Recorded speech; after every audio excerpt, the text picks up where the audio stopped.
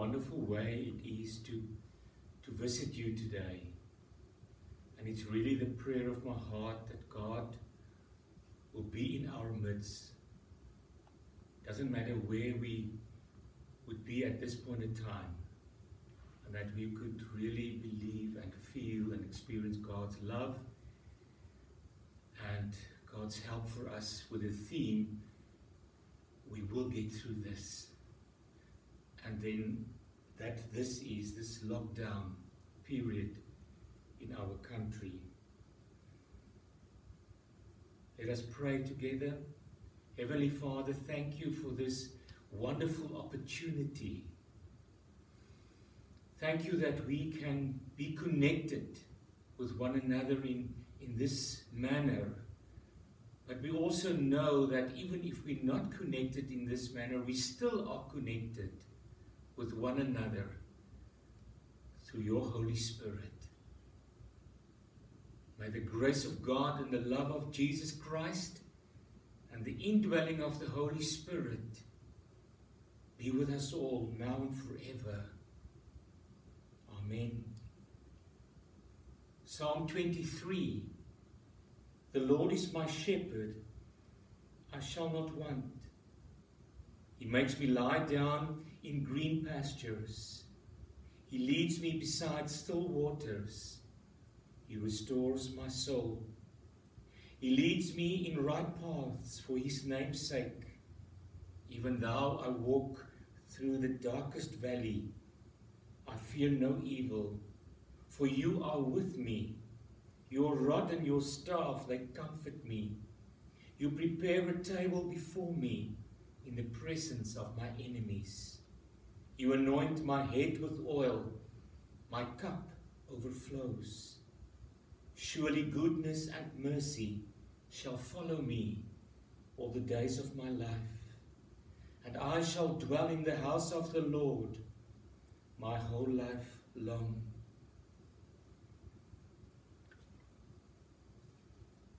I lead you now in the Apostles' Creed.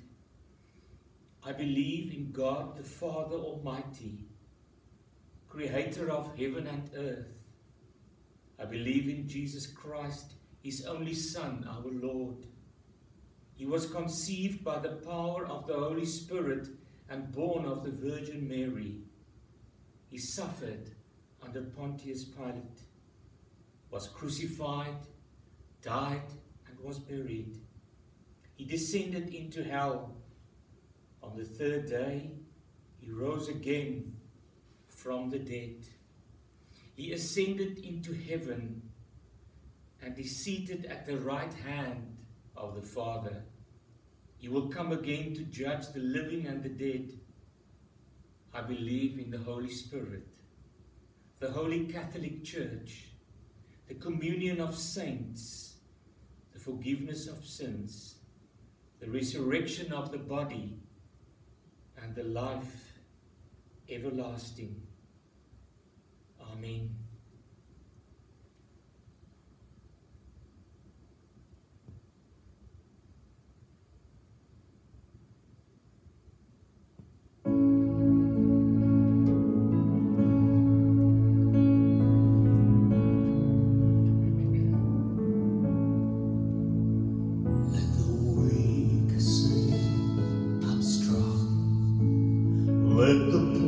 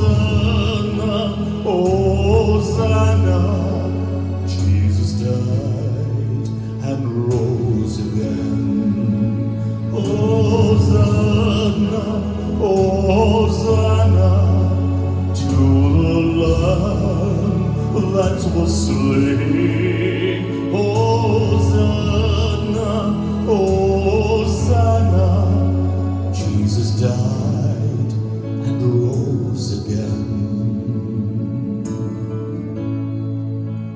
To the river I will wade, where my sins are washed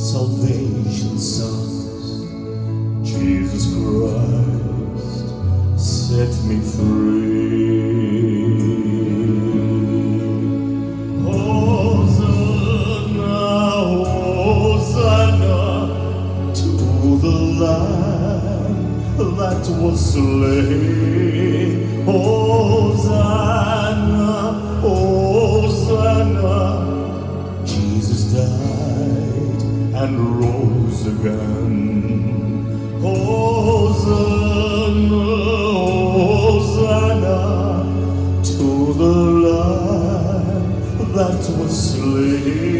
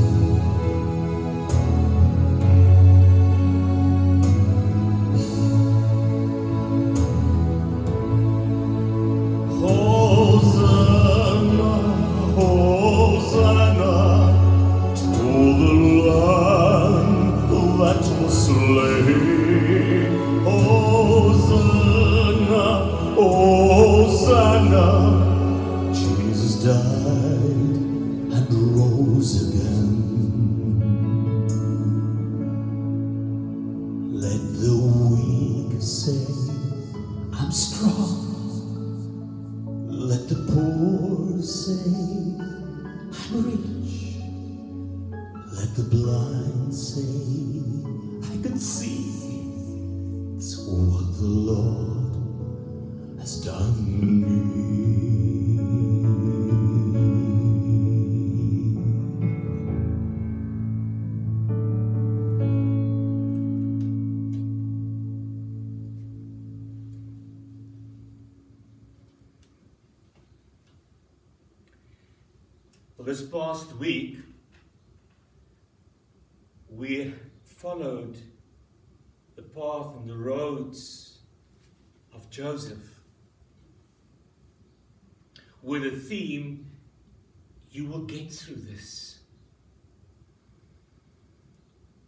it's obvious why I've chosen that theme. The reasons be that, or the reason be is that we went through this whole period of time with Jesus. His suffering, the negative things they did unto him, because he had to die for our sins. He had to die to help us to be re- reunited with God, the triune God. He had to die so that we can live. And then we, we went through the whole, every and each and every disciple and, and the whole way Jesus spoke to each and every one of them individually. And then came the lockdown period. And then we started after that, um, after that mini series, as we started with, with Joseph. You will get through this. And, and what, what have we seen with Joseph? What happened with Joseph? We saw how his brothers became jealous of him. We saw how they became aggravated towards him because his father sort of spoiled him. His father gave him this beautiful Joseph's cloak. And for many years, there was this, um, this plays and musicals, Joseph and his Technicolor Dreamcoat. And this jealousy towards Joseph uh, became, became so strong that one day when they saw him approaching them with food from their father, they made a plan. Let us get rid of this, this young boy. He's irritating us. And so they did. The oldest brother said, No, no, we can't kill him. I've got another plan. Let us, let us torn his, his technicolor dream coat and, and we, we put it in blood of an animal and we tell our father that an animal caught him and we throw him into that well. So that was the first position that Joseph found him at and in a dry, muddy well. How do I get out of here? How do we get through this lockdown period with all with all the the negative around us and also within us, in our minds and in our thoughts? We saw how Joseph got out of the well through his belief in God, but also through the hand of God. God that is in control. And then the brothers sold him then to these camel riders from the east. And they then took him to a slave market. And that was again another lockdown for unto Joseph. Far away from his house, far away from his father that was always there to protect him. And he was there on this marketplace where there was fleas and hate and where they were spat at and where other people would look at them and add onto them and say, you, you're a bunch of nothing. And then he was bought by Potiphar, one of Pharaoh's leaders, prime ministers, very rich man. And then Joseph again came out of the lockdown period in his life. By doing what? By following the rules of his master. By giving his utmost, his best, even if he were away hundreds, thousands of kilometers from his house. He had to, he had to learn how to speak Egyptian. He, he had to, he had to, to, to learn their, their ways, their culture. A Hebrew young man, a Hebrew boy. And he grew in stature. Later on, he was Potiphar was so impressed with him that he made him the chief of his household. And then um, Potiphar's first lady fell in love with Joseph. She tried to seduce him. And again, he stood strong. We have read that during the past uh, week. We have read that so many times. I can't do this. I can't come and lay with you because I will really, really make my master feel very hard so. And of course, my God the rest is history again. She concocted a story, screaming he wanted to rape her. It was a, shock to Potiphar, and off Joseph goes into the jail. And those jails were no joke. Very, very dark. faint light would come through somewhere during the day. And there he sat again. Sat again in a, in a well. This time it's only called jail. And there he befriended people. And he helped people with their dreams. He didn't stop to live. He didn't stop talking to God. It wasn't easy. Of course not. But he kept on believing. There is God is out there. God is my stronghold. God is my is my savior. God is my heavenly Father. And he will take me through this another ordeal. And he told the, the, the butler of, of Pharaoh, when, when, you, when, you, when you go free, please think of me. And he said, as we always also do towards one another, of course I will think of you. I will pray for you. We spoke about that, I think, yesterday morning. I will pray for you. How often we don't do that too?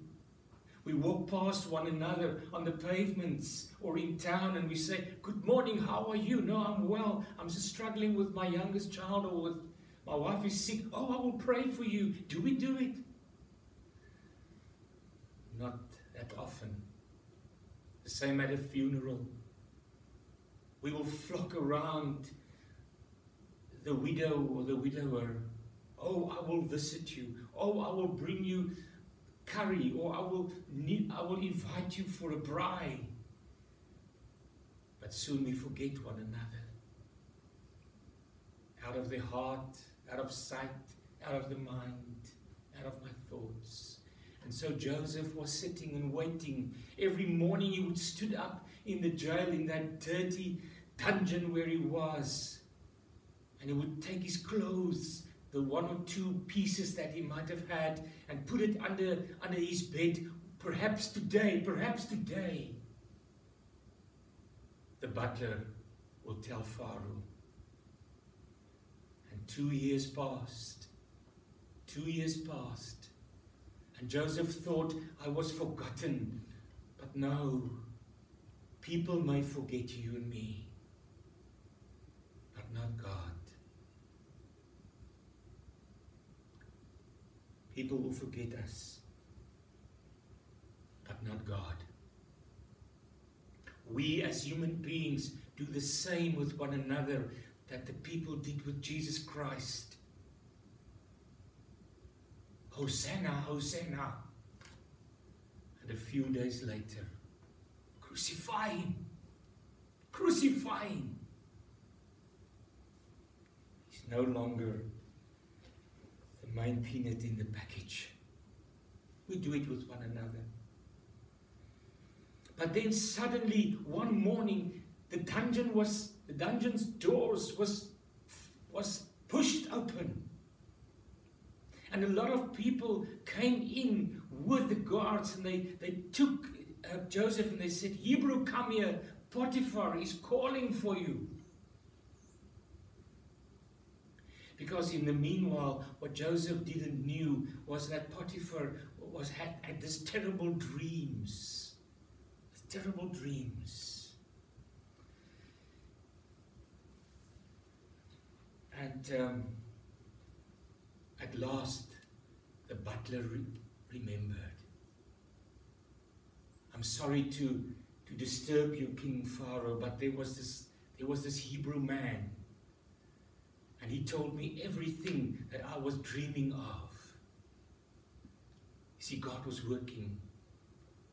God is working in his own ways and in his own time. And so they called for Joseph.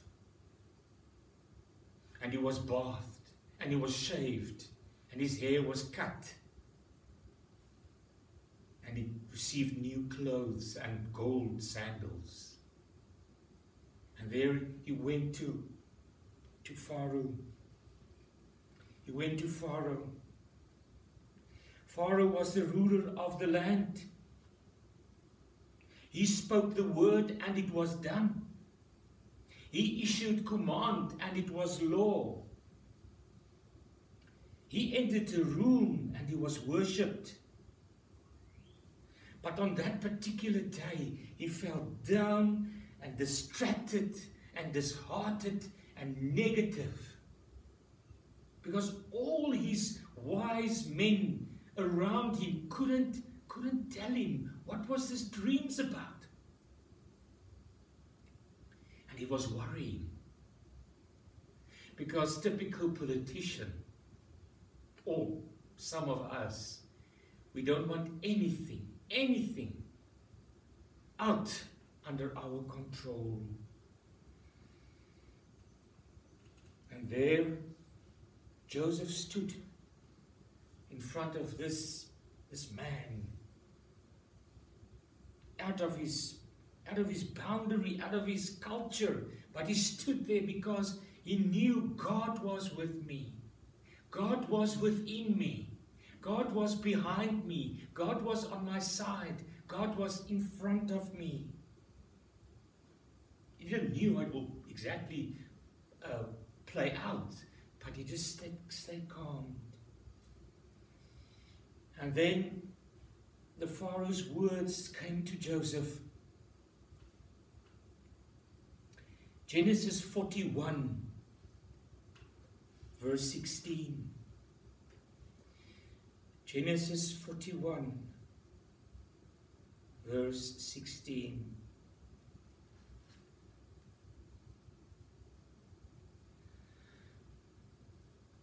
What do we read there? And Pharaoh, that's verse 15, said to Joseph, I've had a dream, and there's no one who can inter interpret it. I've heard it said of you that when you hear a dream, you can interpret it. That was a moment. It was a moment for Joseph to hit on his chest and to stand up firm and says, Of course I can do it. And what did he answer? It is not I. But God will give Pharaoh a favorable answer. Wow. In this lockdown, in this horrible time, because he didn't knew how this is going to be played out, he said, It's not I, it's not me. It is God. God will give Pharaoh a favorable answer. And then Pharaoh said to Joseph what he dreamt about the cows and the other poor, very ugly and thin uh, cows, the seven cows, the thin, ugly cows ate up the first seven fat cows. And then he awoke and then he fell asleep again in the second dream time. I saw in my dream seven um, ears of grain, full and good, growing on one stalk, and seven ears with withered, thin, and blighted by the east wind, sprouting after them, and the thin ears swallowed up the seven good ears. But when I told it to, listen very good, to the magicians, that is verse 24, there was no one who could explain it to me. Pharaoh went to the magicians. He went to the so-called wonder doers. He called them, he paid them, and he said, play for me, show me, show me your tricks. But no one did the trick, so to speak. And then Joseph explained to Pharaoh the meaning of this dream. Wow. Pharaoh commanded a stunning turnaround. And listen to the words of Pharaoh. Can we find such a one as this, a man in whom is the Spirit of God? Listen, listen to his Pharaoh's words. Can we find such a one as this, a man in whom is the Spirit of God? Because he said that because because Joseph just said in, in verse 8, in, in, in, uh, Genesis 40, verse 8, he said, Every interpretation belonged to God. Every situation belonged to God. Every interpretation belongs to God. Every country, every, every nation belongs to God. God is in control. And then what, what did Pharaoh did? He said, I want to turn my kingdom over to you, Joseph. By the end of the day, the boy from Canaan was riding in a royal chariot, second only to Pharaoh in authority. What an unexpected rebound. Rebound.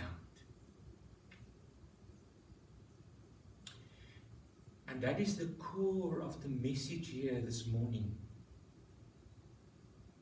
That is the core of the message here with Holy Communion. That is the core this morning of this whole week's um, themes in lockdown. God is there. God loves us. God is working. God never, never sleeps. God has got a goal. God has got the future in his hands. As we have here with us, the Alpha and the Omega. And as Romans 8 from verse 38 to 38 says so, so wonderfully, and nothing can take that away from us. Nothing. Nothing can change that around. Now we may ask 2020, the month of May, the first question we can ask is Is, is Joseph's God also our God? For sure. Is Joseph's God, that is now also our God, that is in control or was in control of Joseph's life? Is he still in control of our lives? For sure. What is it that Joseph did to keep him going? Joseph didn't do anything. He allowed God to do it. Of course, he prayed. Of course, he struggled. Of course, there were many days where he felt in his heart, I suppose, in misery, in tatters, in negative. Perhaps he cried a lot. Perhaps he would feel the, the, the, the rage that would boil up against his brothers. And then there was the worries about his father. Is his father still alive? What is his father thinking? Happened to him. And then the smallest brother, Benjamin. But he kept on. He kept on knowing in his heart, in his mind, in his subconscious, God, God will, will provide. Because in God's hands, intended evil is eventually good. When I was in the army, we had a troop there. He had the nickname of Bobo. He was quite a scruffy young man. And everyone made jokes or made a joke or cracked a joke unto Bobo. If that was his real name, I never ever found out. We all knew him as Bobo. And everyone walking, walking past him would give him a smack behind the head or a kick in the, in the, in the back. Everyone was playing with Bobo. And, and, and seemingly he didn't have a lot of talents or gifts.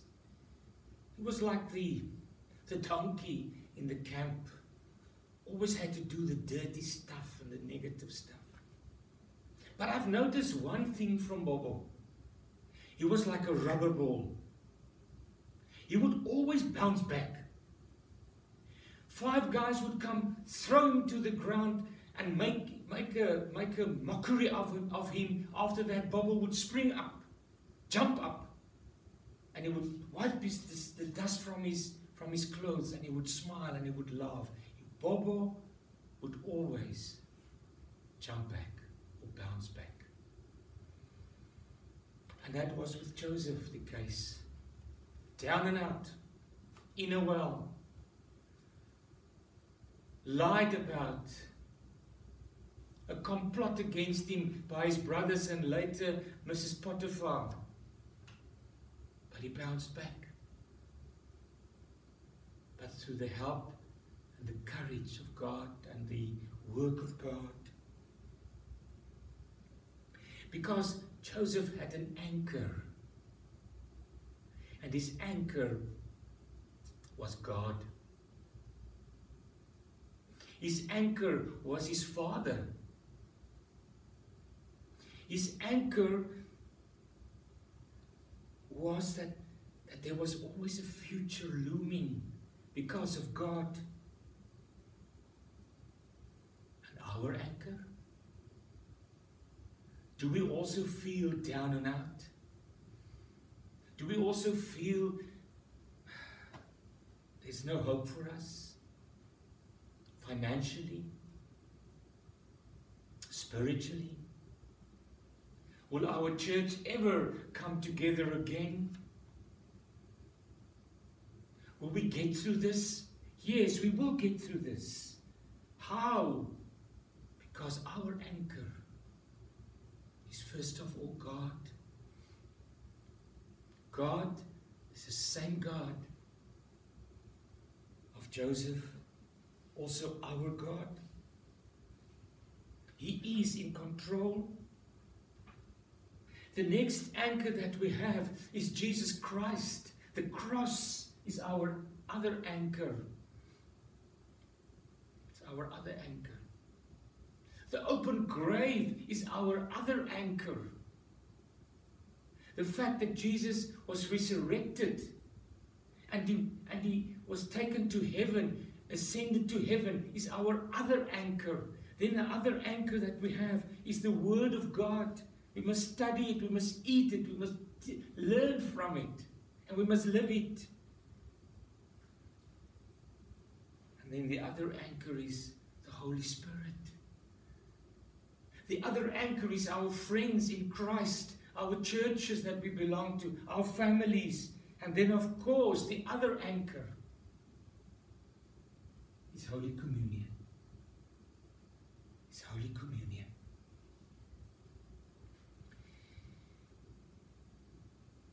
And therefore, I would like to lead you now we praise you, O God, our Father, King of the universe, through our Lord Jesus Christ, who on the night he was betrayed took bread, took bread, and he gave thanks. And then he broke it. And he said, Take this and eat it in remembrance of me. And in the same way, after the supper, he took the cup, gave thanks, and gave it to them, saying, Drink from it, all of you.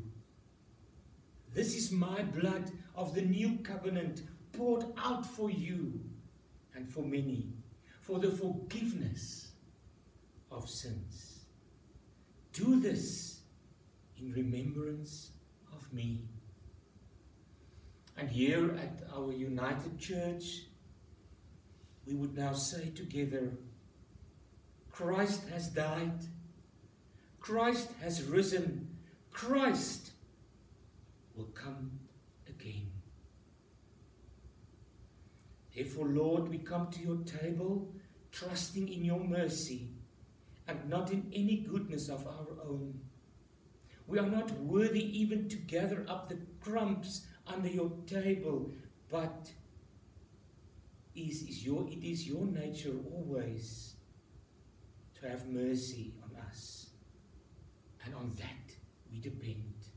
So feed us with the body and blood of Jesus Christ, our Father, so that we may ever live in Him and He in us. The body of our Lord Jesus Christ, which was given for you, keep you in eternal life. Take and eat this in, the, in remembrance. And remember that Christ has died for you to feed you in your heart and in your soul. The blood of the Lord Jesus Christ was shed for us to keep us also in eternal life. And therefore we can drink this in remembrance that Christ's blood was shed for you and be thankful.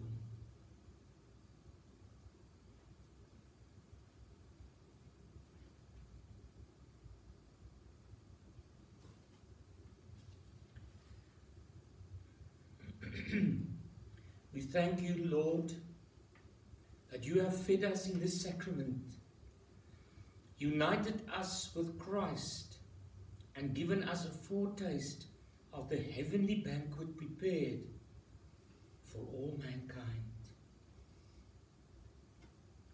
Will you and me get through this lockdown? For sure, we will.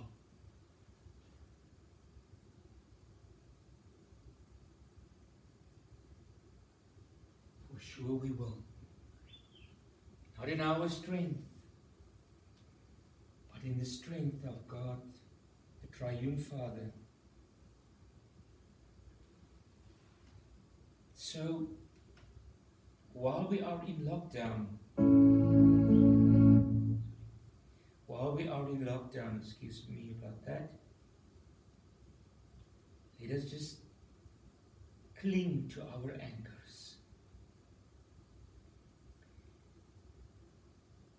We feel we can't cling to the anchors anymore, He will never let us go.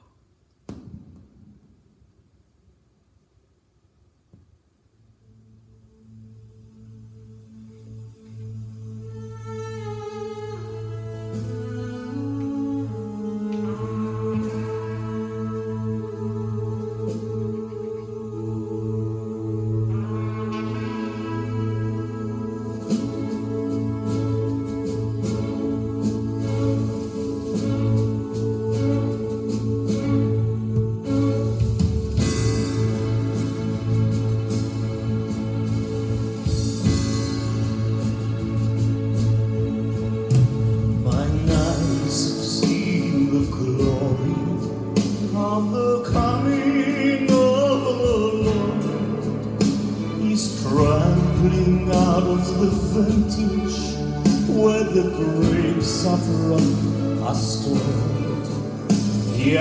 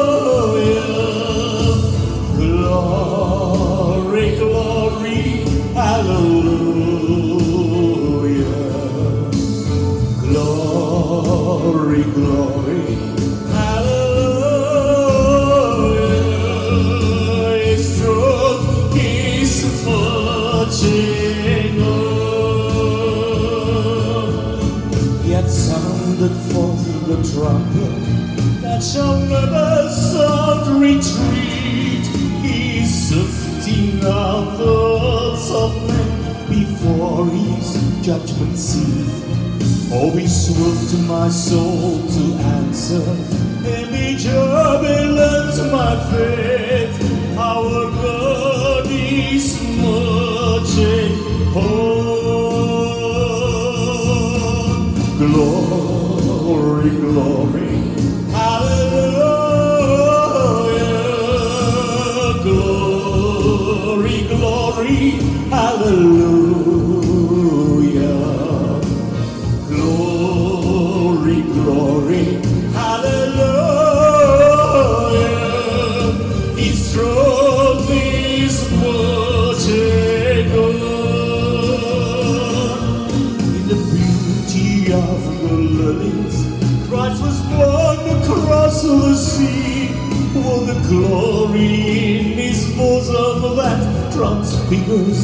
cruelty. As he died to make men holy? Let us love to make men free. What God is marching on. Glory, glory, hallelujah.